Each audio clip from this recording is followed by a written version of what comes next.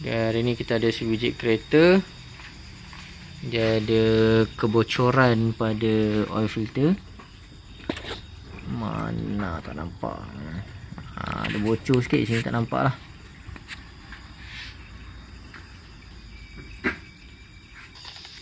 Ha, ni bantuan lampu cerah menerang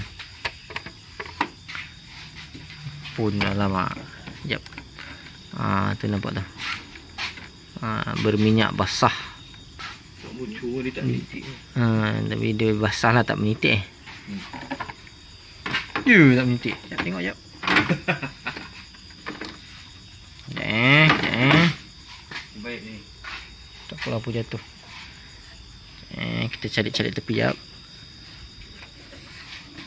Oh, tak. Ha, sikit lah, sikit. Sikit ni sikit je. Ada kurang Tak ada kurang lah Cuma dah basah lah.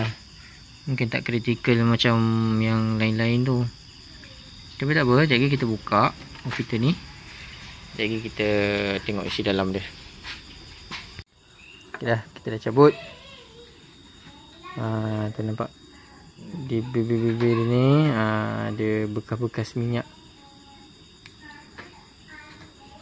Okey, cap Pro 2. cap Pro 2 Junin 4. Ha, warna hitam eh. Ada tarikh lagi bawah ni. 6 hari bulan 6. Okey, kita dah selesai servis kereta Beza tadi. Jadi kita uh, belah lah isi kandungan ni.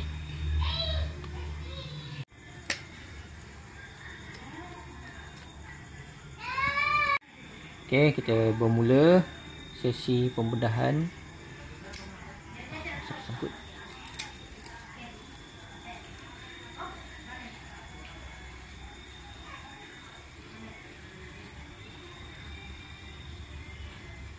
Jadi ada orang kata minyak-minyak yang leaking ni filter cak ayam pro 2 nak kurangkan kos lah apalah. So kita tak tahu dia cak ayam ke apa. Jadi kita tengok isi dalam. Terus.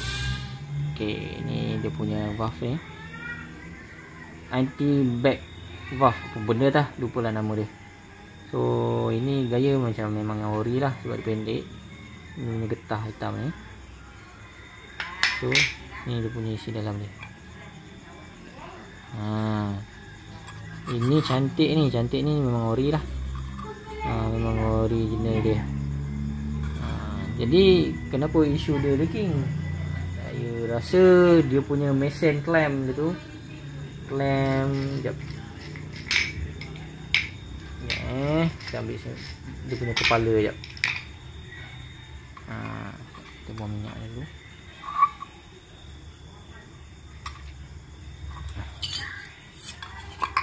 Ha, saya rasa mesin dia orang punya clamp ni ada masalah lah. Uh, dia orang tak calibrate tak calibrate balik. Uh, so clamp dia tak cantik so dia jadi masalah lah. Uh, tapi memang filter dia tak ada masalah. Cuma yang bermasalah pada dia punya bahagian clamp clamp tepi tu. Uh, tu sahaja. Ok